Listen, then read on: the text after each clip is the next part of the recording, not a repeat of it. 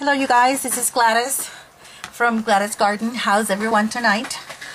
Um, was my night anyways. Um, I want to say hi to you guys and as promised, a little late but as promised, I wanted to um, go ahead and do the tutorial for um, the impressions on the um, embossing that I did for the manila folder uh, journal book and the technique that we talked about. I don't have the book with me anymore, the one that was finished, um, because it was um, given away. It's actually been it was mailed already. But you remember it was the lettering that we embossed, and we embossed on the inside part. I had done this um, camera uh, die cut, and I had embossed it and then did the imprint. And I've had requests as to how to do those and I promised you I was going to do it last night and um, I wasn't feeling out to part last night. There was um, my heart is making me a little bit of a trouble but I had to talk to my heart and I says no you have to behave. So enough of the joke. So I will go ahead and start again um, already.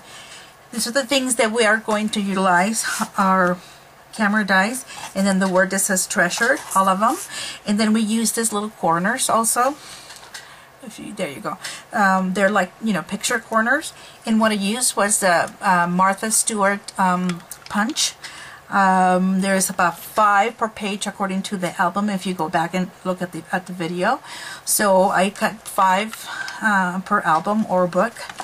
And then what I do before I emboss them, I actually glue them inside so you can have the perfect corner and you're not going to be messing with that anymore.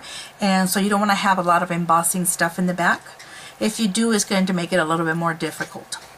The other part that I wanted to bring out is that um, for this particular technique, you must use either, um, I believe these are called um, the Stampendous um, uh, new, um, I don't know if they're new, maybe a, maybe a year old, um, embossing powders. I absolutely love them. Let's see which one is better for you to read this way. Yeah, um, I really, really do like them. I own a lot of them, but I feel like a child in a candy store every time I go around them. I don't have all the colors, and they literally have lots and lots of colors and different variations. Um, most of them are aged, or they give them that age look to the embossing, and I guess that's why I love them so much. In this case, we use aged silver and I used, for the white one, I used aged ivory. And I think for the green one, it was aged um, green. I'm not sure if the camera is going to pick up the green a lot. Let me see if I move it around a little bit. Um, but they're, they're really, really nice. Um, they're kind of kind of variegated a little bit, you know, with different colors, and um, I just like it. And by nature, this um, embossing powder, it's thick, thick than your normal, really thin, you know, like powdery, uh, dusty type of um, embossing. It's not like that, so it's thick. So that's the other reason why I prefer using them, other than they're, you know, obviously really, really beautiful. And, but let's just pretend you don't have those, then what you can do is just go back this is the aged silver and as thick as it is I still went back a couple of times. You want to make sure this puppy's this puppy is really plumped and really thick so by the time we start working with it it'll just give you a good imprint of whatever is it that you're using. So that's what we're going to do today. So I'll show you the you know the the powders and everything that I use. Now let's talk about what you're going to emboss them with. I use um, I, I'd rather have um, rubber stamps, you know, something, either the clean kind, uh, but I'd rather have the, the, the wood mount just because it just makes it easier for me to hold on and to press. You don't have to do a lot of pressing, but, you know, some. Um, the other thing that works really well with this one's um, because we're actually doing scripts, so I'm not doing so much of flowery and stuff. I know on the book I've done, um, on one of my latest books that I finished that I haven't had a video done, I made the imprints of three legends in the music business. Um, Beethoven was one of them, and I really like um, liked it, um, how it came out. But for this tutorial precisely, we're just going to use lettering. So which ones? I prefer something that is filled like this, you know, and it's like this. Oh, there is. I'm trying to look myself into um, focus here. Okay, so lettering like this, French lettering is perfect. Any writing will do. Even this will work too. It has a lettering, although you have bigger patterns in there, so that may just kind of goes, um, it may not work for smaller things like the letters perhaps, but it could work really well for this. So I brought that out. But anything that has letters, I have another big one right here. So anything with scripts, um, I prefer to use. Even this is very nice. It has a little seal here. Very minute things, but the script is bold on this one. This other one is very nice. I love it. One of my favorite stamps. Uh, you can tell it's been used. And I do belong to the Tim Holtz religion. I never clean my stamps. Ever, ever, ever. I have better things to do in my life than clean stamps. So, um, so these two are really, really nice. But I kind of stick with this one because I think it's the right size for the imprints than this one. But you can still get away with this. I found another one around my stash that it is um it's really like almost like a lace type of pattern this can work really well too but you know again you have to use um your your acrylic uh, pad in order to use them I'd rather have the mount for, you know, the wooden mount for this ones. So let's uh, start talking and I'll show you how I did this ones.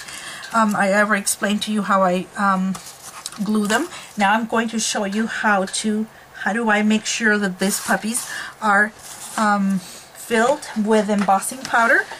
And what I do, I always hold it with this little tool right here. It's like a, I don't know, like a paper piercer. Just hold it down and I start going.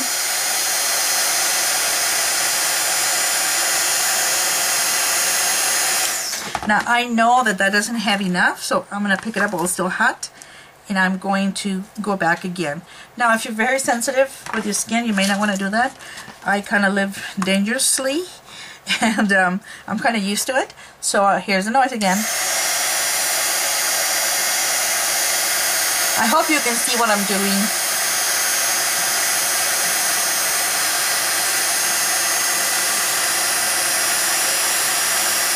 And see, I don't know if you can appreciate that, but let me see if I can zoom in on the camera there.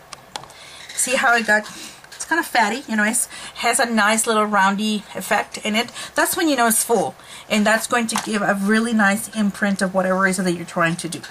Alright, so that's basically the, pr the procedure I did with everything else, and for the sake of times, I, um, you know, I finished everything else ahead of time, so I can just go ahead and show you the imprint, and, you know, I really hate the embossing powder. That's one of those things that I love embossing. It's one of my favorite things to, not to do, but the effect that it does in a project, but, you know, it's really messy.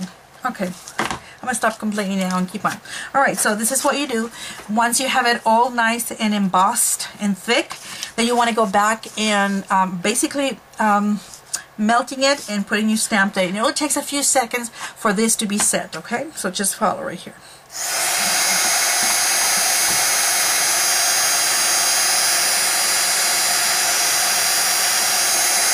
You're going to start to see how the, the, the embossing powder kind of starts moving around a little bit. That's the time when you want to go ahead and put your stamp.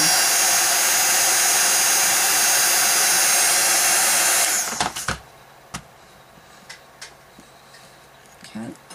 And we just hold it there for a few seconds. It's not, it doesn't have to be forever. Um, and it's done pretty quickly.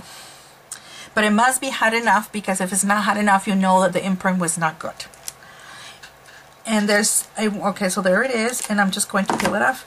Now you see that? Isn't that gorgeous? See there it is. So you can see it a little better right there. I love it. I love and I only did this little corner okay? So I wasn't trying to go uh, just for time's sake I was showing you. So let's just pretend that turned out horrible and you do not like it. Look